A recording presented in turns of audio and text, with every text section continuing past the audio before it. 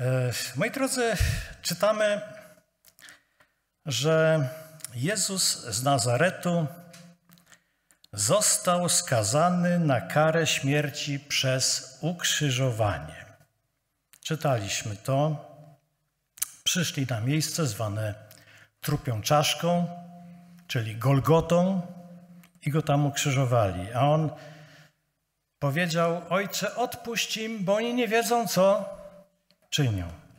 Jak tak prześledzimy jeden proces przed prawem rzyms, y, żydowskim, a potem drugi pod prawem rzymskim, to stwierdzimy jedno: oni chyba nie wiedzieli, co robią.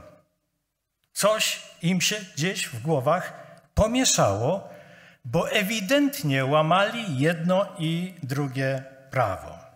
No zobaczmy najpierw, e, jak to wyglądało, jeśli chodzi o prawo żydowskie. Dlaczego Jezus zasługiwał na karę śmierci? Jaką popełnił zbrodnię?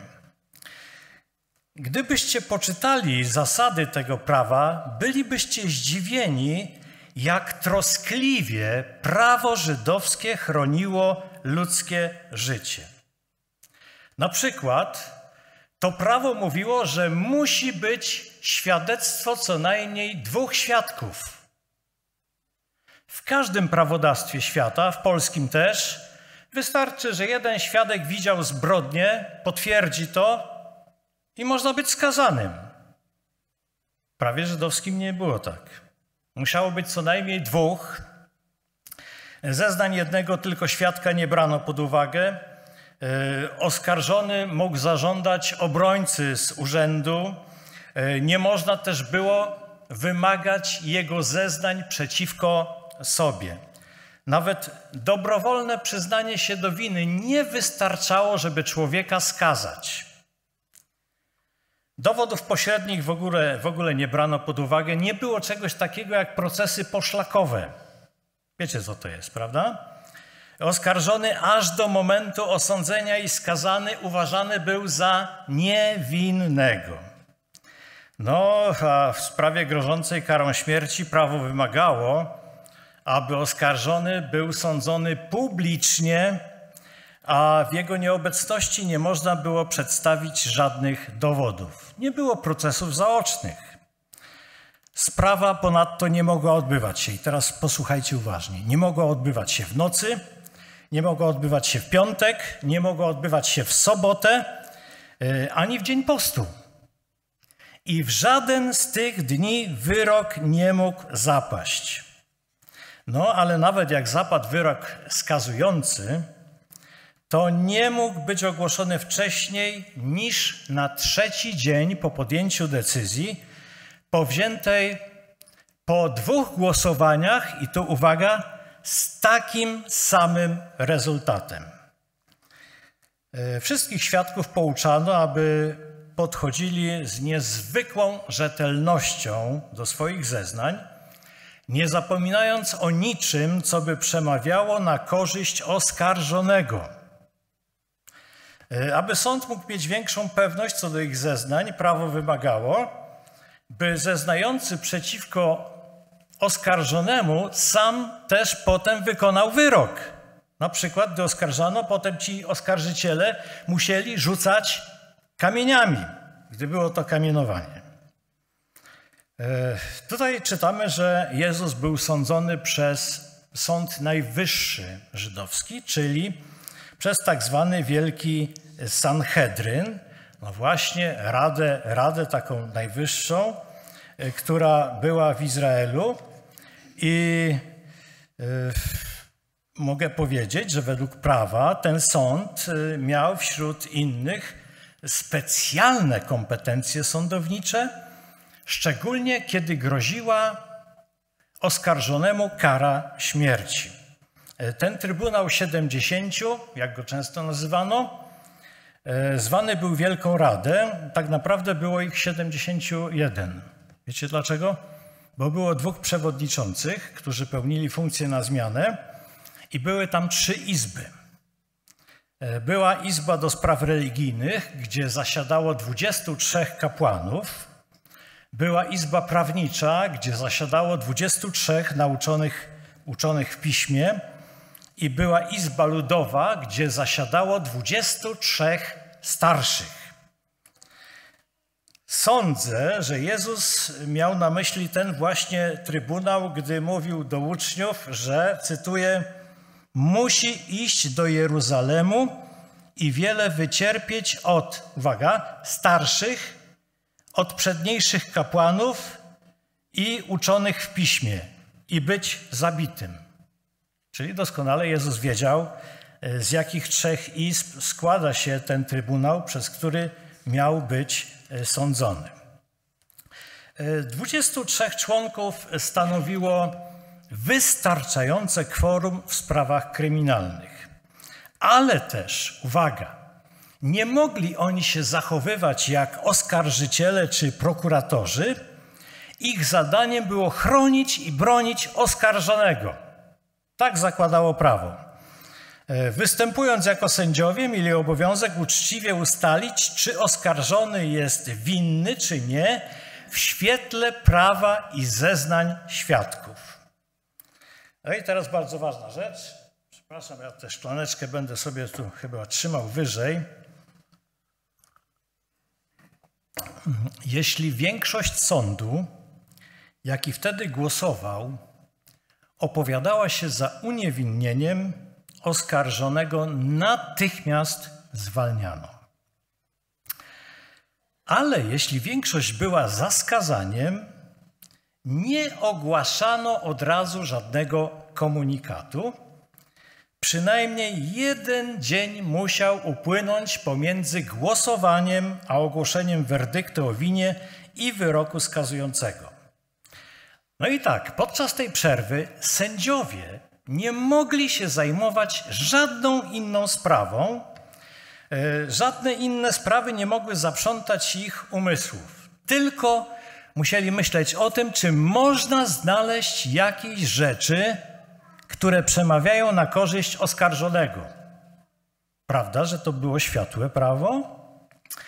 No i teraz dalej, po ofierze porannej, ale nie później niż trzeciego dnia po głosowaniu, sąd zbierał się w sali sądowej, aby przystąpić do drugiego głosowania. To też było ciekawe. Sędzia, który poprzednio głosował za skazaniem, mógł zmienić swoje zdanie na zdanie przeciwne, czyli mógł głosować za uniewinnieniem. Ale sędzia, który w pierwszym głosowaniu głosował za uniewinnieniem, nie mógł głosować inaczej, tylko za uniewinnieniem. Fantastyczne prawo, niesamowite. E, no, e, mnie się ono bardzo podoba.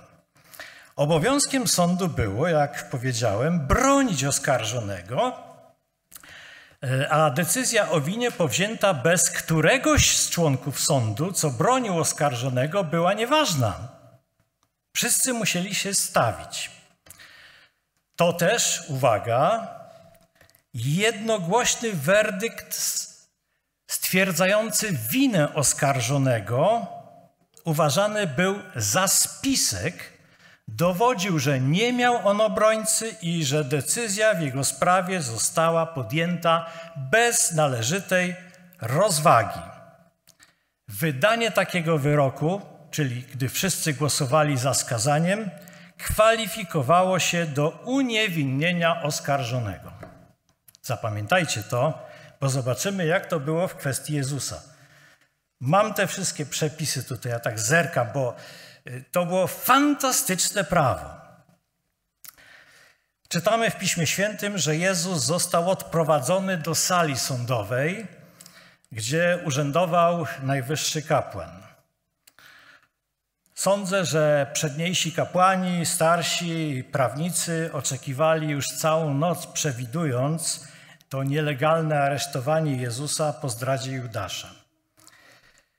Jestem pewien, że kworum stanowiła klika kapłańska, którą Jezus publicznie napiętnował. E, na pewno całość kworum stanowili spiskowcy zainteresowani skazaniem Jezusa na śmierć, a więc nie kwalifikujący się w ogóle na sędziów.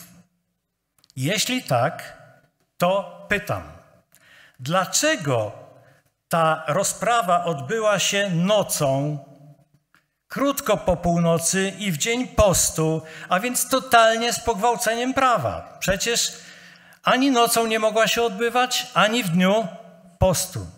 A tak było. Według prawa pierwszym krokiem było postawienie więźnia w stan oskarżenia, czyli odczytanie zarzutów w czasie otwartego przewodu sądowego przez odpowiedniego urzędnika.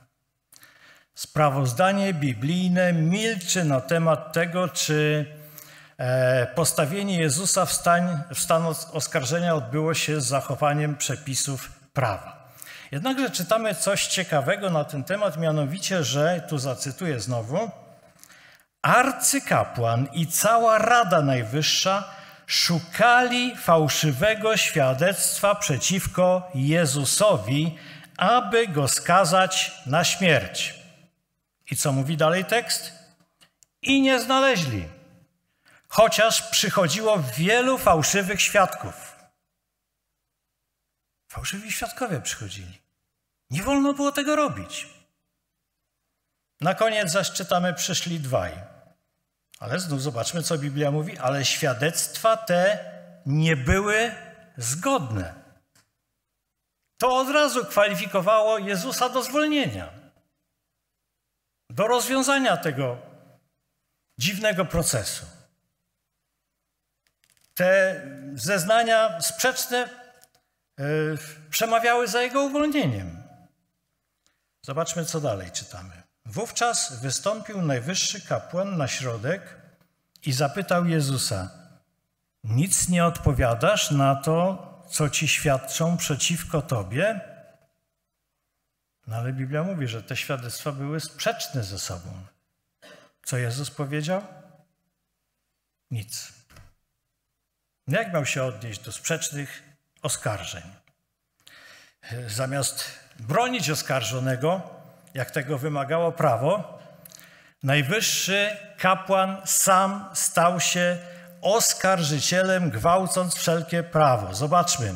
E, powstał i zakrzyknął: Zaklinam cię na Boga żywego, abyś nam powiedział, czy ty jesteś Chrystus, syn Boga. Jezus, chociaż mógł w dalszym ciągu milczeć, wtedy coś powiedział. Powiedział tak, czytamy. Choćbym wam powiedział, nie uwierzycie. A choćbym pytał, nie odpowiecie. To stwierdzenie no, jeszcze bardziej zdenerwowało całe zgromadzenie do takiego wrzasku: Ty jesteś synem Bożym, ty, ty, ty jesteś synem Bożym. Arcykapłan też to wołał. Jezus powiedział, czytamy, no przecież powiedziałeś. Stary przekład mówił, tyś powiedział, tak? Tak po staropolsku. No, no, no tyś powiedział, no. No przecież stwierdziłeś to. I moi drodzy, Jezus tutaj jakby przyznał się do tego, tak? Że jest Synem Bożym. I chociaż e, według prawa żydowskiego nie mógł być e, skazany na śmierć na podstawie dobrowolnego tego własnego wyznania, najwyższy kapłan już ogłosił wyrok. Jaki? Zbluźnił. Czyż potrzeba nam jeszcze świadków?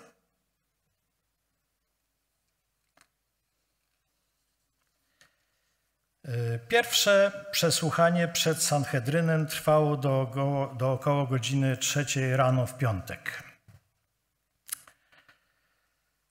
Posiedzenie sądu y, odrocono tylko do świtu, choć prawo wymagało, że ile czasu powinno upłynąć? No, trzeciego dnia dopiero trzeba, można było ogłosić. Przynajmniej jedna pełna doba powinna upłynąć. Żaden wyrok śmierci nie mógł być ogłoszony też niż po drugim przesłuchaniu i drugim głosowaniu, jak powiedziałem, z takim rezultatem jak pierwszy. Co to oznacza? To oznacza, że przed drugim przesłuchaniem Jezus w świetle prawa powinien być traktować jako niewinny. Sąd mógł przecież w dalszym ciągu go uwolnić. I Biblia mówi nam, że chociaż powierzono go e, do pilnowania strażnikom, Nikt nie troszczył się o to, że tłum gardził nim, że go bili, że pluli na niego, że go znieważali. Później w pokoju aresztanckim nawet go opluwali i znów go bili. Członkowie Sanhedrynu byli przy tym obecni, jednak niczego nie zrobili, żeby zapobiec takim praktykom i gwałceniu prawa żydowskiego. Przecież jeszcze nie był skazany, jeszcze powinien być traktowany jako niewinny. Drugie przesłuchanie nastąpiło po ofierze porannej w piątek około godziny szóstej. Zobaczcie, trzy godziny przerwy były. Od trzeciej rano do szóstej. Jezusa, jak czytamy, zawleczono do przedsionka świątyni. Tam właśnie mm, sędziowie zebrali się na drugie przesłuchanie. A gdy nastał dzień, zeszła się starszyzna ludu, arcykapłani i uczeni w piśmie i zaprowadzili go do swej Rady Najwyższej. Wypowiedzi sędziów zostały zapisane. Wszystko odbyło się z udziałem osób, powiedziałbym, takich krzykaczy, takich postronnych, choć prawo mówiło, że nie można dopuścić do takiej sytuacji, że nawet jeśli są osoby postronne, to mają siedzieć cicho i słuchać. E, wynik głosowania podaje Pismo Święte. Posłuchajcie uważnie. A oni wszyscy rzekli, że zasługuje na śmierć. Co to oznaczało? Że Jezus powinien być zwolniony. Nie miał obrońcy. Nikt się za nim nie wstawił. Ale oni mieli to gdzieś. Zobaczmy teraz y, na prawo rzymskie. Był wtedy prokuratorem, takim administratorem rzymskim e, w Palestynie Poncjusz Piłat, który nosi, nosił tytuł cesarskiego prokuratora. E, moi drodzy, on nie urzędował w Jerozolimie. E, prokuratorzy rzymscy, ci namiestnicy rzymscy urzędowali w Cezarei Nadmorskiej i tylko z okazji wielkich świąt przyjeżdżali do Jerozolimy. On miał swój pałac w Jerozolimie, ale bywał tam tylko na święta. Akurat się trafiło, że były to przecież święta. E, czytamy, że on miał obowiązek, jeżeli przed nim kogoś oskarżano, rozpatrzeć wszystko od początku. E, od jego wyroku nie było już żadnego odwołania, chyba tylko do cesarza. Postawili więc Jezusa przed Piłatem. Moi drodzy, żeby przypadkiem nie skalać się przekroczeniem progu pogańskiego domu, e, kapłani towarzyszący Jezusowi nie weszli tam do Piłata, tylko jego wywołali. Pewnie go zdenerwowali tym, ale co miał z tymi Żydami, którzy ciągle robili mu pod górkę, tak? Co miał, co miał zrobić? W końcu wyszedł do nich i pyta się tak: Jaką skargę wnosicie przeciwko temu człowiekowi? Tym pytaniem dał od razu poznać, że jest bardziej skłonny ponownie sądzić Jezusa, niż e, tylko przyklepać wyrok Żydów. Kapłani odpowiedzieli tak: Gdyby ten nie był złoczyńcą, nie wydalibyśmy go tobie. Pamiętam kiedyś na ulicy widziałem, jak taki starszy, starszy pan bił małego chłopca, pewnie swojego syna, nie wiem. I tak go lał, wiecie, Pytam się, co on takiego zrobił, że Pan go tak bije? On mówi, gdyby nie zasłużył na to, to by nie dostał. Taka odpowiedź. To była taka sama odpowiedź. Nie powiedzieli, co złego zrobił, tylko na pewno zasłużył, skoro chcemy go skazać. E, Piłat z tej odpowiedzi zrozumiał, że chcą ograniczyć jego uprawnienia e, Zdenerwował się nawet i powiedział, no to weźcie go i ukrzyżujcie, jak jest winien. Nie chcecie powiedzieć nawet, co złego zrobił? To ukrzyżujcie go. Ale w latach rzymskiej okupacji przepisy żydowskie nie miały tak naprawdę mocy skazać człowieka na śmierć i wykonać na nim wyroku, chociaż wielokrotnie było to łamane, jak w przypadku Szczepana. Pamiętacie sytuację? To nie Rzymianie Szczepana zabili, tylko Żydzi. Ale oni tutaj w tym, w tym momencie mówią: Nam nie wolno nikogo zabijać. Od zabijania są Rzymianie. Moi drodzy, widząc, że Piłat ma ochotę rozpatrywać sprawę tylko z punktu widzenia pogwałcenia prawa rzymskiego, kapłani wytoczyli przeciwko Jezusowi takie oskarżenie, że jest on winien zdrady przeciwko Cezarowi, przeciwko cesarzowi. Powiedzieli tak: Stwierdziliśmy, że ten podburza nasz lud i wstrzymuje go od płacenia podatku cesarzowi i powiada, że on sam jest Chrystusem królem. Czy Jezus kogokolwiek wstrzymywał od płacenia podatków? Przecież sam powiedział, co cesarskiego oddajcie cesarzowi, co Bożego oddajcie Bogu. Sam powiedział Piotrowi, zapłać tam podatek za mnie i za siebie. Pamiętacie ten moment? Dał nawet pieniądze. To była bardzo przebiegła intryga. Jezus tutaj dostrzegł wyraźnie spisek kapłanów i Piłat, i Piłat też to dostrzegł. I oni wszyscy wiedzieli, że jeżeli wytoczą takie oskarżenie przeciwko cesarzowi, a Piłat z tym nic nie zrobi, to lepiej niech się w Rzymie nie pokazuje. Tam dopiero będzie miał kłopoty.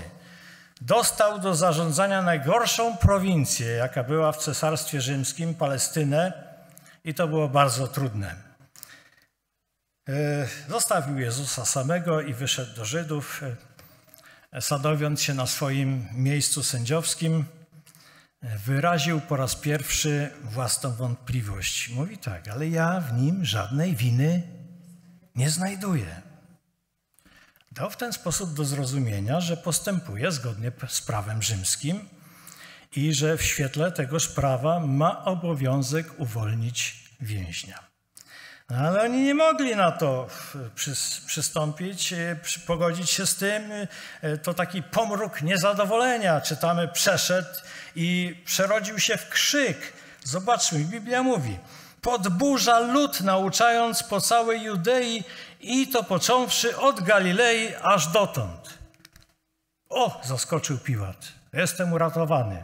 Co usłyszał? Jaką nazwę? Dobrze, Galilea. Galilea? To świetnie. To zrzucimy całą sprawę na barki Heroda, bo on jest tetrarchą Galilei i też z okazji świąt był w Jerozolimie. Mówi to weźcie go do Heroda. Myślał, że już ma z głowy. No i zaprowadzili Jezusa do Heroda. Powtórzono te wszystkie zarzuty, y, że podżegał do buntu i tak dalej, i tak dalej. Ale wiecie, na Herodzie to nie zrobiło żadnego wrażenia. Oni ciągle tam mieli jakieś bunty, jakieś podżegania, jakieś bandyckie wystąpienia. E, natomiast on słyszał o Jezusie i chciał go wypytać o równe rzeczy na zasadzie, a może byś tu zrobił jakiś cud, jakiś hokus pokus, tak? Ale Jezus nie miał ochoty na żadne hokus pokus. Nic nie powiedział do Heroda. Ten się tylko powygłupiał koło Jezusa i Herod zobaczył, że, że on nic nie może. Co może zrobić? Ma kogoś wyższego tu od siebie, mimo że e, w randze państwowej Jezus jest nikim. Więc odesłał go z powrotem do Piłata. Wyobrażam sobie minę Piłata, jak Jezusa przyprowadzili ponownie. I w końcu mówi do nich tak: Przyprowadziliście do mnie człowieka jako podżegacza ludu. A tymczasem ja, przesłuchawszy go wobec was, nie znalazłem w tym człowieku żadnej z tych win, które mu przypisujecie. A Herod także nie. Odesłał go bowiem z powrotem do nas. I oto nie popełnił on niczego, czym by na śmierć zasłużył. Każe go więc wychłostać i wypuszczę. O!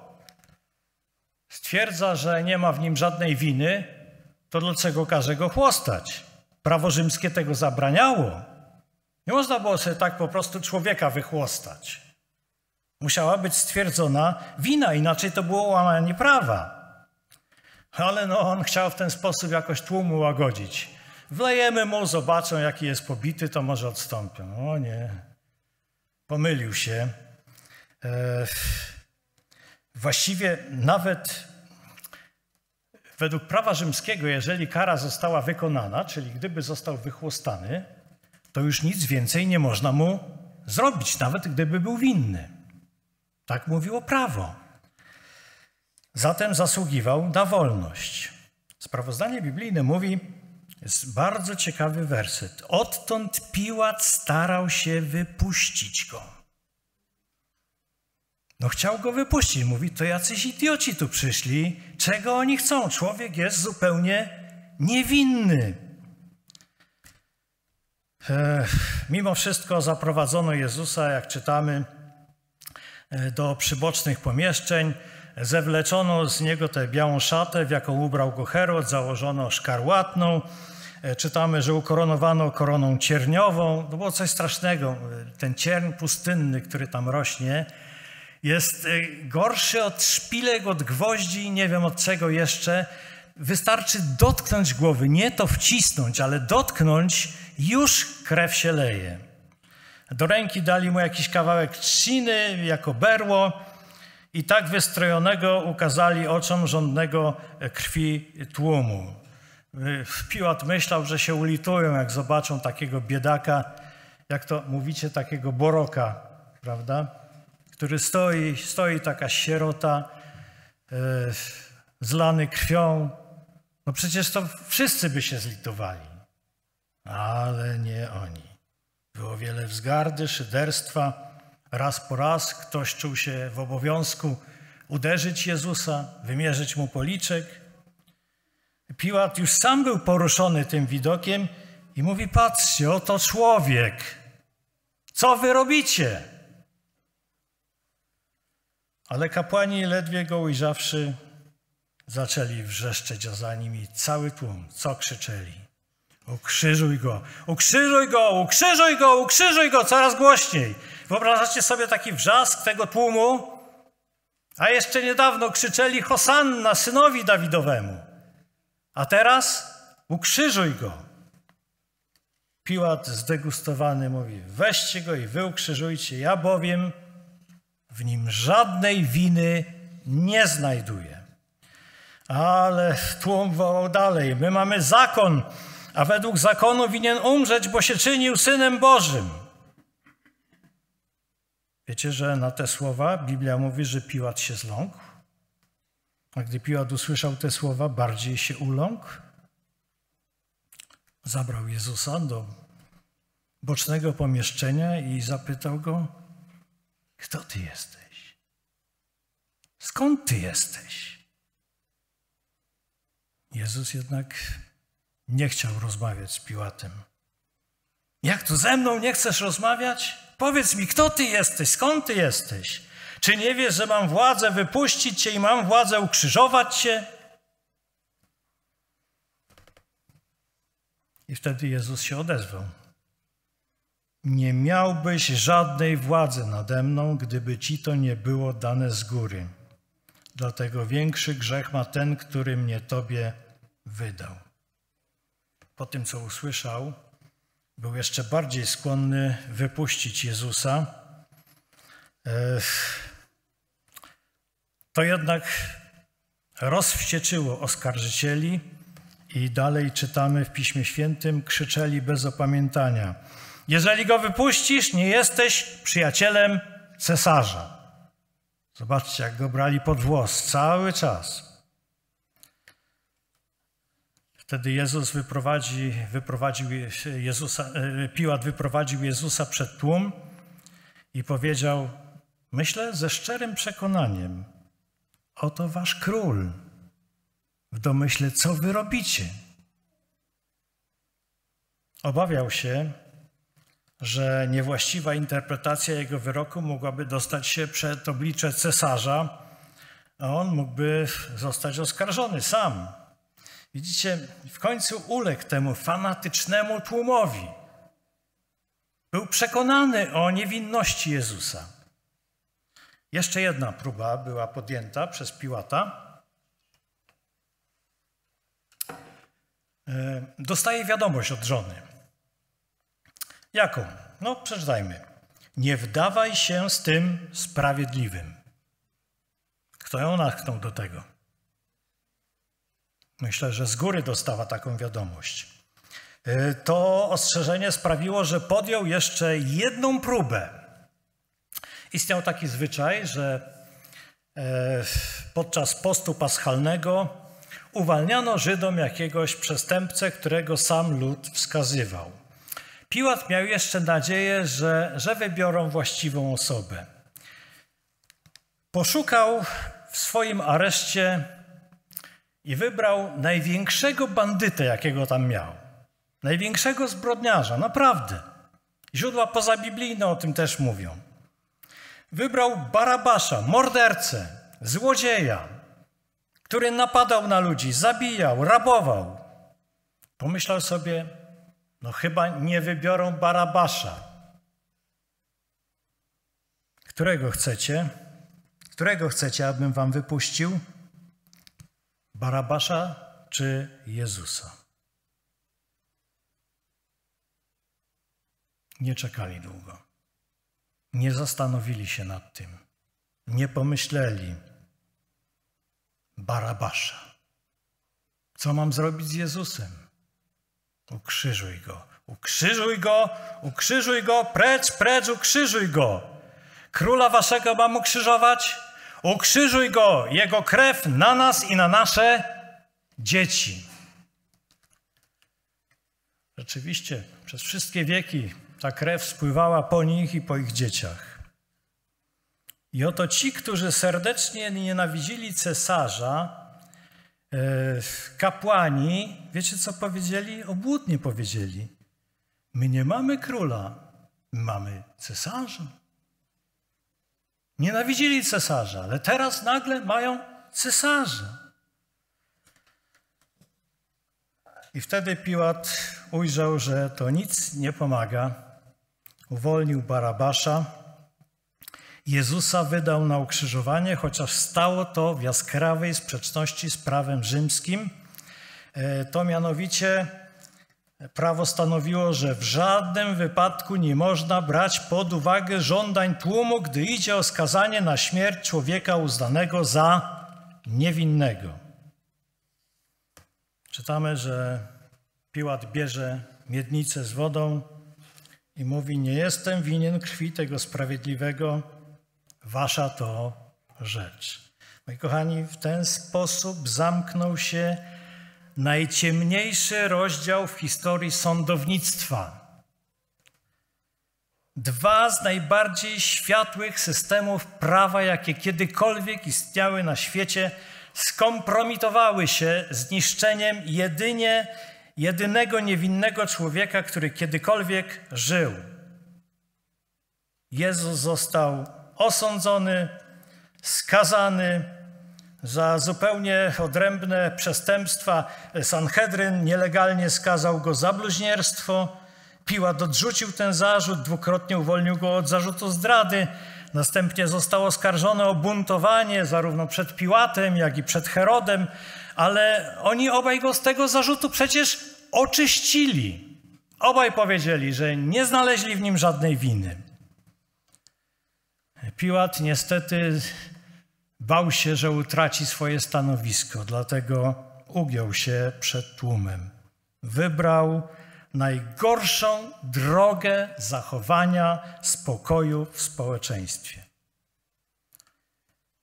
W południe 7 kwietnia 31 roku naszej ery Jezus został ukrzyżowany. O 15 zakończył swoje życie.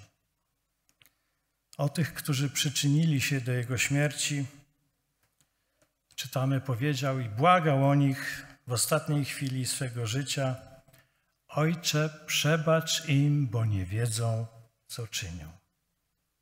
Tak został zabity jedyny niewinny człowiek, jaki kiedykolwiek żył na ziemi.